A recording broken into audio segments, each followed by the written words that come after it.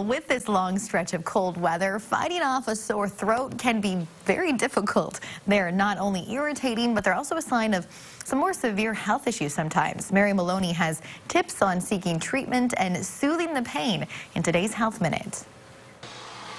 Most sore throats are usually triggered by the common cold or flu, but the cold, dry air can also be a factor. Experts say gargling with salt water can be an effective way to ease a sore throat, as salt dries moisture and can prevent bacteria from growing. Soothe your irritated throat by staying hydrated to thin mucus. Hot liquids such as tea and broth are good choices because the warmth soothes pain. Adding honey to your tea or other warm drinks may also help.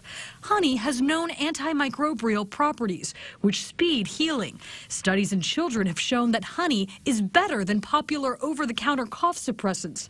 Keep the throat moist by sucking on a piece of hard candy or a medicated lozenge that can have a numbing effect. If your sore throat is severe, accompanied by a fever or swollen glands, you might have a bacterial infection and should see a doctor. For today's Health Minute, I'm Mary Maloney.